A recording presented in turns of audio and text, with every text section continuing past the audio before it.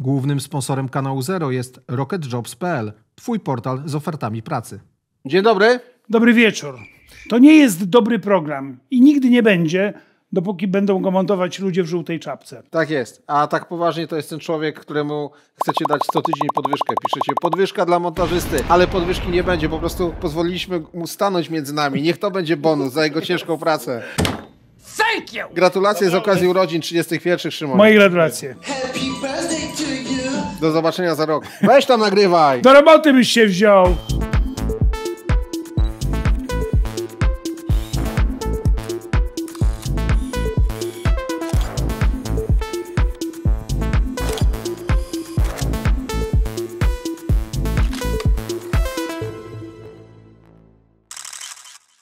Ludzie mówią, że mnie hejtujesz i nie mogę już chrząkać.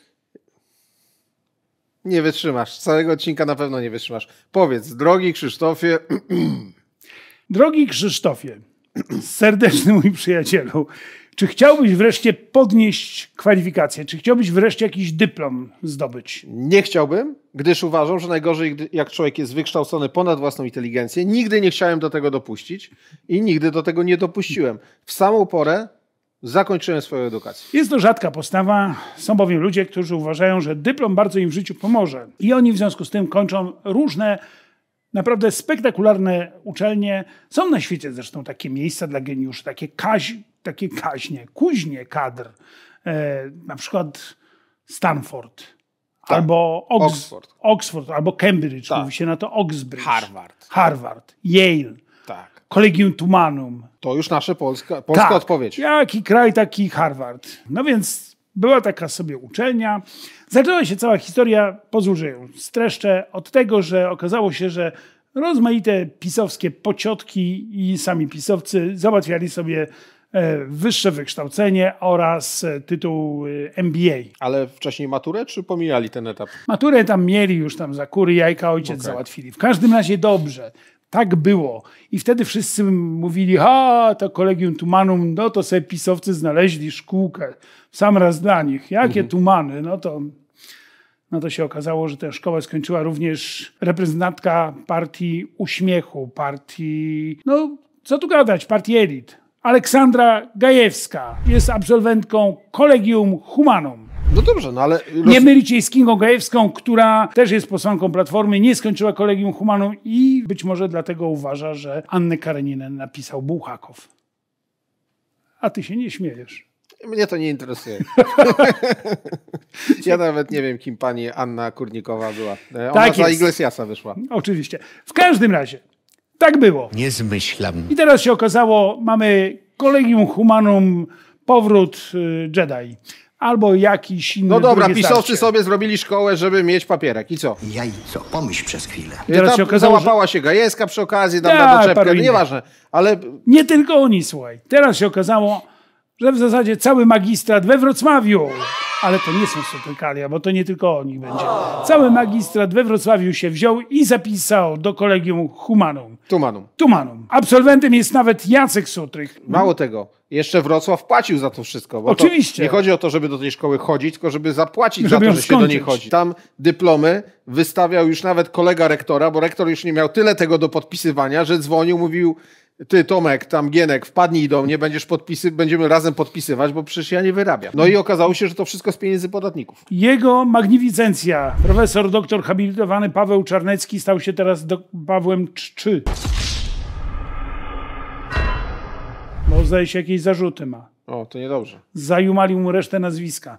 W każdym razie, no jest to dziwna historia, chociaż piękna właściwie. Wiesz, jak sobie pomyślisz, że ten, w tym magistracie ludzie nie tylko we To jest taki uniwersytet trzeciego wieku, można Tylko, ale powiedzieć. tam ludzie nie tylko kręcą porno, nie tylko handlują samochodami, również zdobywają wykształcenie.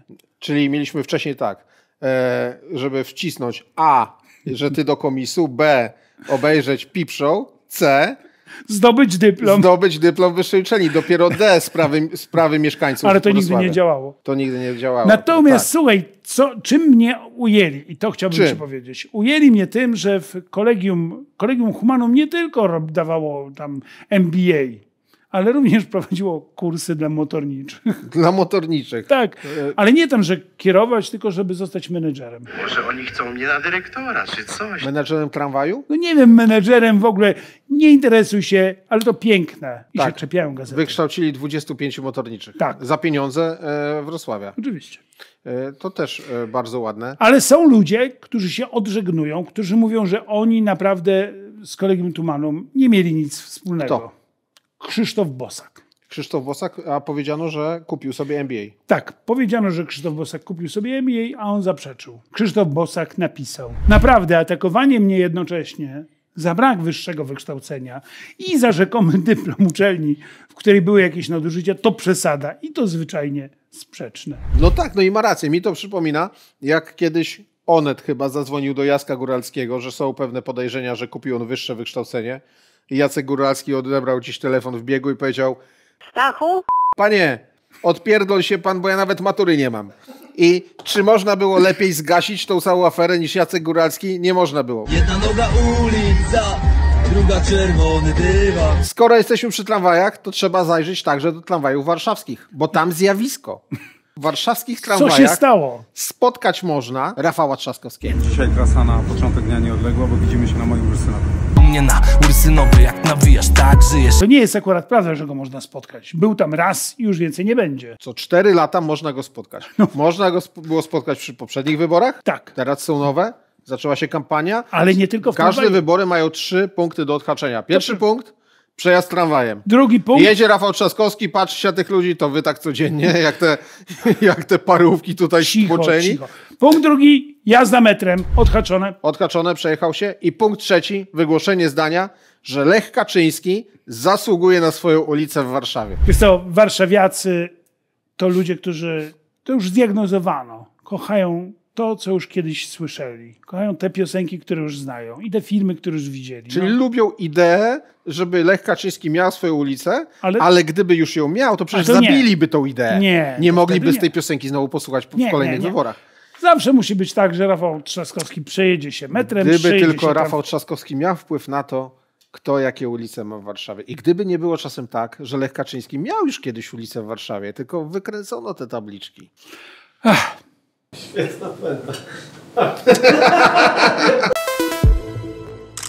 Krzysztofie, rozmarzyłem się. Tak? Pomyślałem o uczuciu. Ale nie do mnie. Akurat nie do ciebie i nie moim. Mhm. Jest bowiem tak, że są pewne uczucia skrywane, takie najgłębsze, te takie najbardziej intymne. Takie uczucie znalazł w sobie Kazimierz Marcinkiewicz. Kazimierz Marcinkiewicz zakochał się ponownie. E, Nie chcę powiedzieć, że nie uczy się na błędach, bo może poszukuje tej wielkiej miłości. Może ciągle jest na etapie poszukiwań, Jest które zakończą młody. się cudowną przygodą. Tak. Mnie w tej całej historii, którą zaraz opowiesz, zdumiewa, za, zawsze zaskakuje jedno. On za każdym razem pisze: Nie interesujcie się moim życiem prywatnym, to jest moje życie prywatne. I nic wam do tego, precz media, precz brukowce. Po czym dokładnie opisuje, co w tym życiu prywatnym Jego życiem wydarzy. e, prywatnym można się interesować wówczas, gdy wszystko jest w nim dobrze. Mhm. A gdy jest źle, to nie można, bo to jest wtedy wścibstwo. A, no co takiego dobrego spotkało teraz Kazimierza Marcinkiewicza? Słuchaj tego. Przepraszam. Wprowadźcie się w jakiś odpowiedni nastrój, ludzie. Odłóżcie te talerze, przestańcie jeść. Jeśli jest pić. koło was wybranka wasza albo wybranek, przytulcie go Tak. i popatrzcie mu w oczy. Namiętnie i długo. I, I, wsłuchajcie tak. się w tę historię. Nie wstydźmy się miłości. Martynkę poznałem rok temu w koszykach. Zapatrzyłem się na nią, a ona odwdzięczyła się tym samym. Nie, mogliśmy oderwać od siebie oczu. oczu. Pierwszy raz w życiu doświadczyłem takiego zafascynowania. Kłócimy się, kto kogo zaczepił pierwszy, kto rozpoczął tę znajomość, tę niesamowitą relację, to zakochanie, tę miłość. W pewnym momencie powiedziałem, że jestem fajnym facetem, takim do kochania. A Martynka zaśmiała się i powiedziała, że to świetnie, bo ona jest właśnie kobietą do kochania. Ha, ha, ha. Często nam się zdarza, że mówimy do siebie w tym samym momencie to samo. Ja pierwszy Ja powiedziałem pierwszy kocham. powiedziałem. Natych, na, natychmiast usłyszałem to samo. Zaczął. E, To jest trochę nielogiczne, bo zda, Krzysztof, mówią do siebie to Krzysztof, samo w tym przestań. samym momencie, a on pierwszy powiedział kocham. Przestań, Krzysztof, przytul. Nie, nie, nie. Ale Krzysztof uczył Nie się. wyglądasz jak jego wybranka. On, ona jest naprawdę e, wysokiej klasy. Ty również nie wyglądasz jak Kazimierz Marcinkiewicz, a jednak gotów byłem dla tego programu zrobić również to. Ale dlaczego przerwałeś, gdy mówiłem o błędzie logicznym? Słuchaj, mówimy do siebie w tym samym momencie to samo. ty się czepiasz. I zdanie później, ja pierwszy powiedziałem kocham. Gdyby mówili to samo w tym samym momencie, nigdy by nie Szymon? ustalili, kto powiedział pierwszy. Szymon, naprawdę, powiedz mi, czy ten człowiek w ogóle rozumie uczucia? jakby to powiedzieć, okrutnik, no po prostu. Ale zobacz, jakie to jest piękne. Jeszcze raz będzie to samo Nie mogliśmy tłumaczył. oderwać od siebie Nie oczu. mogliśmy. Pierwszy raz w życiu doświadczyłem Akcentuj. takiego zafascynowania. Zapatrzyłem się na nią, a ona odwdzięczyła się tym samym. Będzie to Wyobrażasz teraz to sobie? jeszcze. Hala koszyki, hala koszyki i oni się na siebie patrzą. I Mhm. po prostu nikt nie wie, kto zaczął, nikt nie wie, kto skończył. Trwało to Patrzeć bardzo długo. Już kelnerzy z krzesła stawiali wokół. A oni tak stoją. mówili, przepraszam, zamykamy. Podobno był taki, co chrząkał. Ale nie byłeś to ty. E, a oni patrzyli na siebie.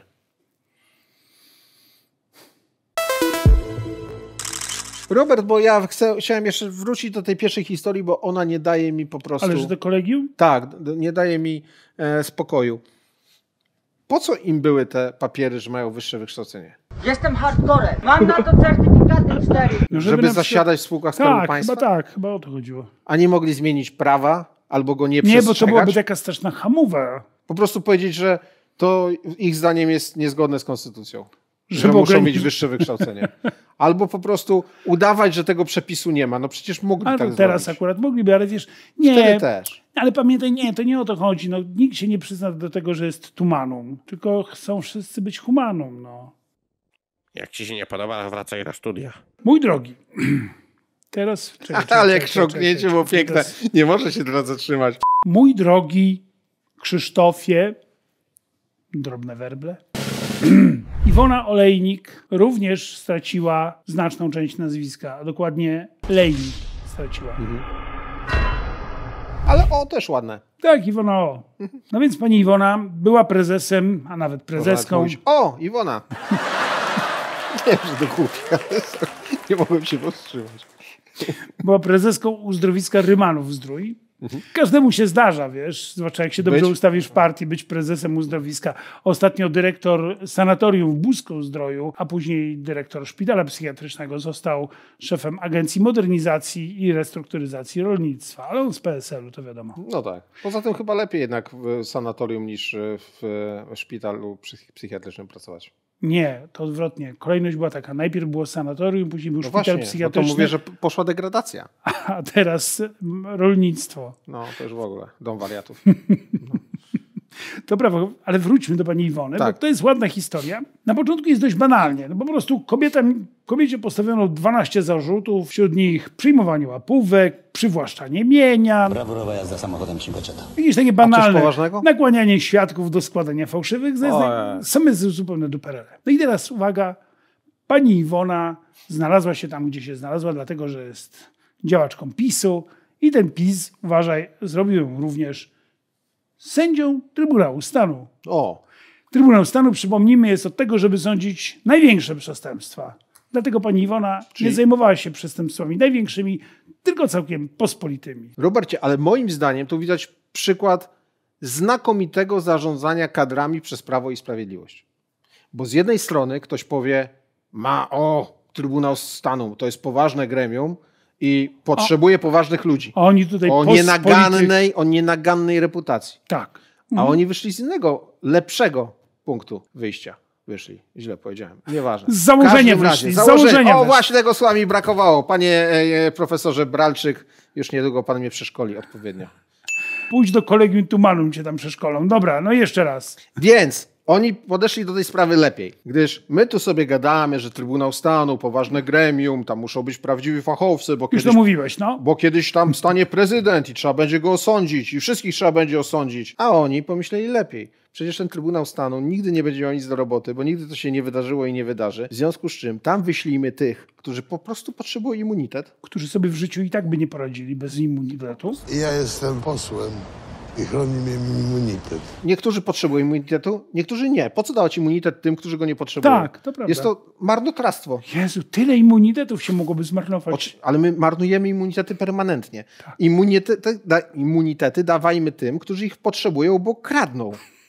A nie tym, którzy nie kradną. Po co komuś immunitet, jak nie kradnie? No pomyśl. Ta logika mnie naprawdę zdumiewa. No, czy, ty prowadzisz, mam rację, czy nie? Czy ty prowadzisz w kolegium No i- Tumanum kursy dla PiSu? No i umieścili tą panią o Iwonę, o! w trybunale i ma immunitet i bardzo dobrze. I, a że się nie zna, to trudno, nie jest do niczego jej... Nie ona jedna. Nie ona jedna i nie jest tam fachowość żadna potrzebna, bo ten trybunał nigdy się nie zbierze. Koleś w ale, żółtej czapce się znudził tą historią. Dobrze, ale fachowców w tym czasie rzucimy na ten odcinek walk, gdzie musisz się naprawdę naparzać non-stop. A pani Iwona w cieniu. I ja uważam, że to, to jest zarządzanie master level. MBA powinni z tego dawać. Tak. Od Tym razu. się powinno zająć kolegium Tumanum. Pani Iwono, jesteśmy z panią. Moc jest z nami. O, Krzysztofie, widzę, że pijesz, to może o alkoholu coś. Ale ja wodę piłem. A chuchni? E, alkoholu. Rzeczywiście woda. Rafał Trzaskowski, e, znowu do niego wrócę, e, powiedział, że no, ciężko jest zakazać. Ciężko jest zakazać sprzedaży alkoholu w Warszawie, bo jak to zrobi. Powiedz jeszcze raz. Sprzedaży. Sprzedaż e, alkoholu właśnie. E, słuchaj, po, dobra, jeszcze kurwa raz. A co z Rafałem? On powiedział, że nie można, znaczy nie jest pewny, czy to warto zakazywać sprzedaży alkoholu po tam którejś godzinie 23 czy 22 w Warszawie, bo jak to zrobi, to pod Warszawą zaczną się burdy, że ludzie będą jechać pod Warszawę po alkohol i chyba z miejscowymi lokalesami się lać o ostatnią butelkę wódki. No tak, to bardzo, tak, to piękne. Ale już są historie podobne. Poczekaj, poczekaj, bo ja nie chcę o tym właśnie. Chciałem ci opowiedzieć historię z Wrocławia. Mianowicie, pamiętasz tę historię, którą opowiadałeś tydzień temu, jak to kapitana statku, Ukraińca, zatrzymano, miał 5 i 7. 5 i 7 miał, tak. To ja mam kolegę, Bardzo zacny wynik. Ja mam Kibicujemy, kolegę- trzymamy kciuki. Może już go przesłuchano nawet, czy jeszcze, chociaż chyba ma wciąż 1 i 8 w tym momencie. posłuchaj, Ale posłuchaj. ciągle spada. radny z Wrocławia zdemolował hostel. No to może się zdarzyć. On miał, uważaj, tylko 4 promile. O, ale za to też również się dopieścił tabletkami z klono, klonazepam. Czym? Klonazepamem. W Dragami. każdym razie z jakimiś środkami psychotropowymi. W każdym razie... to w urzędzie się kupuje? Nie, widzisz, nie, bo on jest znowu... Pod literką D, czy E w ogóle? On jest z nowoczesnej. On wiedział, że już się nie tylko pije, ale również wspomaga. I czy to nie jest piękne? Na swój sposób tak, ale lepsza historia jest z drogówki strzeleckiej. Strzeleckiej? Tak, tak napisano. Policjanci strzeleckiej drogówki. Czyli ze strzelców? E, Być może. E, słuchaj, zatrzymali do kontroli drogowej traktorek ogrodniczy, którym kierował pijany 52-latek. Jedzie pan traktorkiem, niestety po chodniku, Niestety, niestety ma dwa promile, niestety ma dożywotni zakaz prowadzenia pojazdów i niestety wracał ze sklepu, gdzie kupił butelkę. Ale, no ale, je, ale czy traktorek się liczy jako pojazd? No chyba tak. On chyba myślał, że nie. Chyba myślał, że nie. No w każdym razie Ale to piękne. Czy on nie mógł tam pójść? Chociaż nie, może nie mógł. Może by już tak dziabnięty, że nie doszedłby prosto. musiał się czegoś trzymać, a najlepiej kierownicy. Jechał rolnik na ciągniku, smaczne lody wiózł w koszyku. A z kolei Znowu masz coś alkoholu? nie, chciałem ci powiedzieć, co się stało w Żyrardowie. Coś znowu, że... Zatrzymano się... Do... Za... Kurwa. A z kolei w Żyrardowie, słuchaj, co się stało. Każdy Jest człowiek, jak się historia. napije, to tak bardzo Niech powie wyraźnie Żyrardów. mówi. Policja zatrzymała mężczyznę, który miał 77 lat. Ale nie zatrzymali go za to, że miał 77 lat, bo to jest wciąż legalne w Polsce. Mhm. Można mieć tyle lat. Ale posiadał 300 gramów narkotyków, mianowicie mefedronu. Ale poczekaj, ty mi... Przecież to jest czysty ageism. Trochę tak. No to znaczy... Ale biorąc Poczekaj, ale pod nie, uwagę, nie, że stop. robiono ze mnie seksistę ostatnio, Tak. mizogina, Tak. To chciałem to wszystko zwalczyć i powiedzieć, że tak naprawdę wyznaję ageism. I nie akceptuję New ageism. 77-latków, którzy handlują dragami. Nie Dlaczego ich nie tego. akceptujesz? Nie akceptuję, Bo uważam, robią są za konkurencję- starzy na to. Bo robią konkurencję młodszym. Tak. Słuchaj, Każda branża ma swój czas. No. powinien się się jakieś Każde ograniczenie... pokolenie ma własny czas. Nie, ja wychodzę, naprawdę dość tego. Nie będziemy. tu- Nie znasz zespołu kombi? Obawiam się, że znam. Starcy, zostawcie narkotyki i handel nimi młodszym. Mocny statement. Ja chciałem ci powiedzieć jeszcze jedno, mm, Robercie. Tak. Ponieważ Wrocław obrywa w naszych programach. Trzeba to powiedzieć, że obrywa. Nie. Obrywa. No. I czasami mi trochę wstyd. I bardzo kurwa dobrze. Zasługuje to miasto, żeby powiedzieć coś dobrego. O Wrocławiu. Tak. Mianowicie w szpitalu we Wrocławiu podają, patrz jakie posiłki. Zobacz jakie posiłki podają. No. Zadają kłam temu, że w szpitalu się nie najesz. A jest- tam się najesz. A jesteś pewien, że każdy pacjent tak dostaje, czy tylko Jacek Sutry? Nie, może to był w ogóle ostatni posiłek na przykład, że ktoś sobie zażyczył. Chciałbym zjeść schabowego na koniec, już tylko to mi zostało. I teraz nikt na oddziale nie zje, tak jak wiesz, dostawali po kawałku, teraz Przestań, wszystko przestań poszło ty, na jednej sam... miałeś powiedzieć, że, że, że, nie, że nie krytykujemy Wrocławia. No, no nie, no podziwiam. Poczekajcie, narodzie, narodzie, teraz moja odezwa. Żeby nie było, że my tylko sutrykalia, sutrykalia, sutrykalia. Dość. Teraz w tym czasie kampanii wyborczej, jeżeli ch- chcielibyście, jeżeli czujecie, że powinniśmy również o waszych prezydentach albo kandydatach na prezydentów wspomnieć, to nadsyłajcie nam te co lepsze historie. My naprawdę opowiemy, docenimy, zaklaszczemy. No w ogóle Tak. pocieszymy się. Teraz kącik policyjny, bo mamy różne informacje z kraju A świata. dokładnie dwie, i to już dwie ostatnie informacje. I w zasadzie w ogóle z kraju obie są. Ale z kraju ze świata zabrzmiało lepiej, jako taki bajt przynęta, żeby Ba- ktoś... Bajt. Co? Mów, mów. Otóż, i teraz muszę to znaleźć. Czekaj, gdzie to kurwa mam? Metoda na policjanta w przypadku tych oszustów pasowała jak ulał. Zgadnij dlaczego. Nie wiem, nie wiem co. Bo byli policjantami. Otóż, afera w gliwickiej policji. Jesteśmy na Śląsku. Dzisiaj będzie się działa rzecz na Śląsku. Dobrze, i w policji. I to są Słuchaj. dwie ostatnie informacje. Policjanci na Śląsku, w Gliwicach, okradali staruszków. Metodą jaką? Zgadnij? Nie na wnuczka. No właśnie nie wiem jaką. Na policjanta. Podawali się za policjantów i zabierali im pieniądze. Czy nie można wymyślić sobie uczciwszej zbrodni mimo tak, wszystko? tak. I Oni chcesz- nawet nie kłamali. No właśnie, i za co zostali skazani? Że kradli? Albo to oni pierwsi? Dziwne to wszystko. Sześciu funkcjonariuszy gliwickiej No. policji miało okradać starszych mieszkańców województwa śląskiego. Młodszych mieli okradać? Co to w ogóle za argument, że starszych? Młodszych to wolno? ageism jakiś. A może ci starsi handlowali narkotykami? Właśnie. Mefedronem. Mieli 77 lat. I tyle forsy. No. No, czyli bardzo dobrze zrobili. I nie metodą na policjanta, bo byli policjantami. Oni po prostu dokonywali redystrybucji. Tak, ale potem konsekwencje tego są takie, że prawdziwy policjant okrada metodą na policjanta i ludzie Prawdziwy potem, wnuczek na wnuczka. widząc policjantów, przestają wierzyć, że to jest naprawdę policjant, bo teraz przechodzimy do tychów. Pierdol się, bo zabrała policję. To ja jestem policja. Krzysztofie, słuchaj, myśmy tutaj zatrudnili młodych ludzi. Tada! No, mówimy o prawdziwych młodych ludziach, którzy mają naturalne włosy na głowie. Jednemu z nich tłumaczę, że taką starą zasadę, nie do końca prawdziwą, że informacja to nie jest wtedy, kiedy piszesz, że pies pogryzł człowieka. Nie, informacja jest wtedy, kiedy człowiek pogryzł psa. I to się zdarzyło? Poniekąd. Poniekąd. Poniekąd, bo nie wolno mówić na policjantów psy, ale jednak policji. wolno. Nie, nie, Nie wolno. Znaczy, nie Chociaż- powinno się. Nie powinno się. Znaczy, akurat w poniedziałek pytałem jednego z policjantów, czy im to przeszkadza. Powiedział, że nie, oni o sobie mówią per psy czasami. Mhm. Na YouTube można wrzucić. W Tychach było tak, że interweniujący funkcjonariusze zostali zaatakowani przez pięciu pijanych Ukraińców. I pogryzieni. Do ataku doszło po godzinie 22 podczas próby wylegitymowania zakłócającej ciszę nocną grupy. Pięć osób, dwie kobiety i trzech mężczyzn trafiło do policyjnej izby zatrzymań. A czy możliwa jest taka teoria, że oni po prostu jako policjanci poszli wymusić coś metodą na policjantów, a Ukraińcy nie znali języka i nie zrozumieli, że jest metoda na policjantów? I w ramach, albo ich samobro- i w ramach samobrony pogryźli? tak mogło się wydarzyć. Krzysztofie, ta historia jest tak dobra, że nie słyszałem. Nie, jeszcze raz. A to jest puentę robię teraz. Podsumowując ten tydzień, ten odcinek, był to naprawdę dobry okres polskiej policji. Tak. Sześciu zatrzymanych za potrzy... podszywanie. No nie, za, za mówienie kim są naprawdę i okradanie. Tak. Pięciu pogryzionych. Jeden zatrzymany pijak, który jechał traktorkiem i miał dwa promile. I jeden zatrzymany 77-latek, który sprzedawał mefedron. To jest polska kronika kryminalna.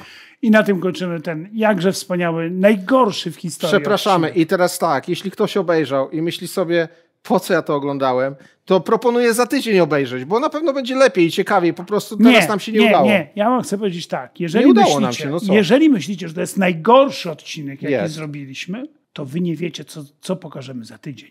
Nieprawda, będzie lepiej i nie zrażajcie się. Do zobaczenia. Dobranoc.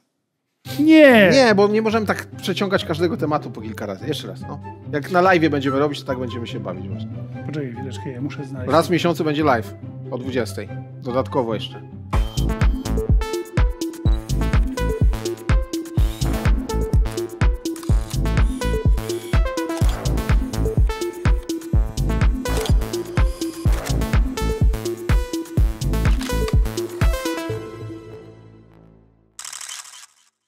Głównym sponsorem kanału Zero jest RocketJobs.pl, twój portal z ofertami pracy.